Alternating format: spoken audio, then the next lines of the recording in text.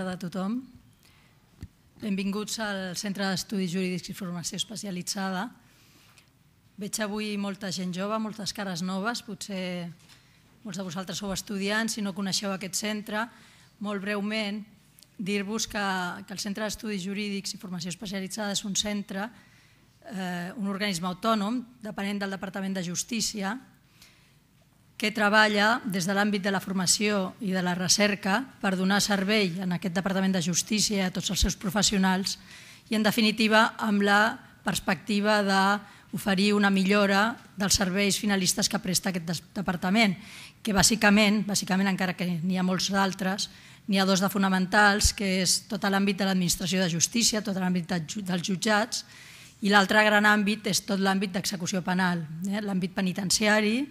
de mesures penals a la comunitat i de justícia juvenil, que és el tema que ocupa la sessió de, de recerca d'avui.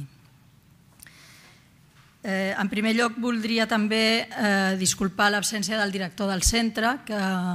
és un, un gran seguidor de les recerques eh, que es presenten en aquestes sessions i que sempre li agrada ser-hi, però avui per motius d'agenda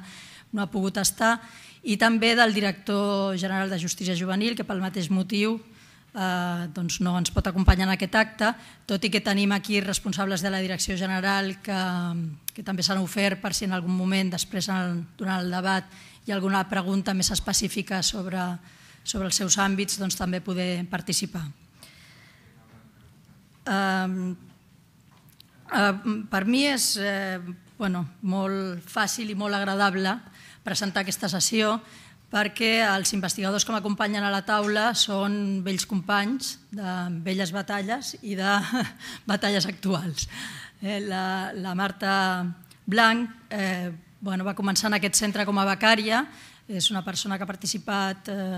en diverses recerques mentre va ser becària, però que continua com, com investigadora col·laboradora, participant també en moltes de les nostres recerques amb un paper moltes vegades molt fonamental. I per altra banda l'Ed Hilterman a la meva dreta doncs bé, amb l'Ed vam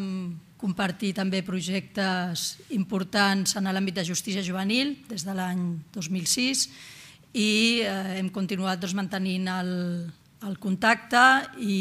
ell ha estat eh, fent posteriorment també recerques en, altres àmbits eh, en vinculació amb el centre. Per tal, doncs, són dos vells amics coneguts i, i puc dir amb tota seguretat que els treballs que ens presentaran avui segur que seran eh, estrictament ben fets i, i interessants en els seus resultats.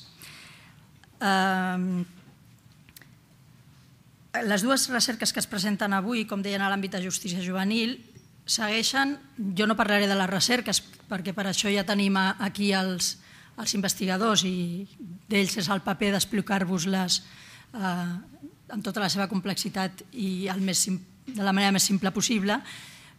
Mm, jo el que sí que voldria dir és que les recerques que ells han dut en terme estan molt en la línia del que us deia ara fa uns moments quan us presentava el centre, de quin és el paper que aquest centre té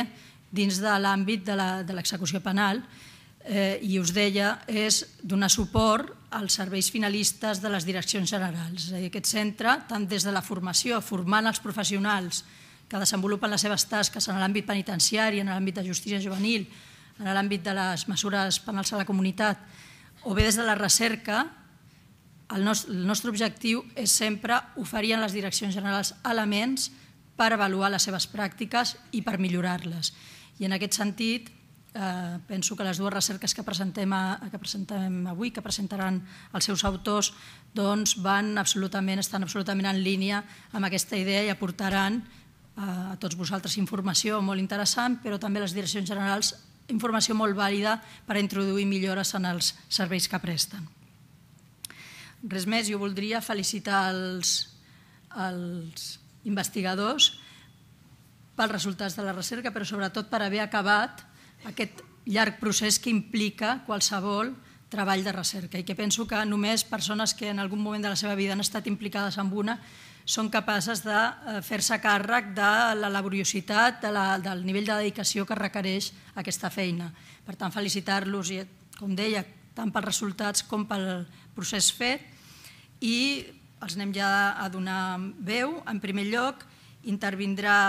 la senyora Marta Blanc Serentill presentant la recerca, prestacions en benefici de la comunitat i realització de tasques socioeducatives en justícia juvenil, perfil dels joves i la seva reincidència. Doncs Marta, com vulguis.